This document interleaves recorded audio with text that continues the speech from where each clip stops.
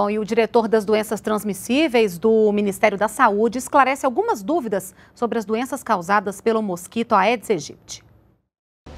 Quando começa a vacinação contra a dengue?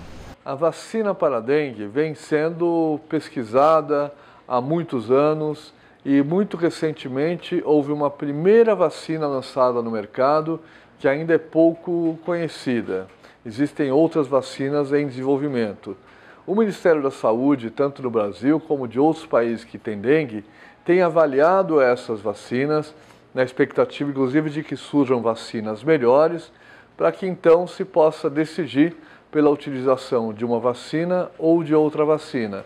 Isso não tem prazo definido ainda, porque isso depende de pesquisas que serão feitas. A situação do Zika vírus é grave no Brasil? Essa é uma epidemia muito preocupante ela atingiu grandemente a região Nordeste e há uma grande preocupação de que durante este ano de 2016, caso o combate ao mosquito Aedes aegypti não seja eficaz, essa doença possa voltar a causar epidemias no Brasil.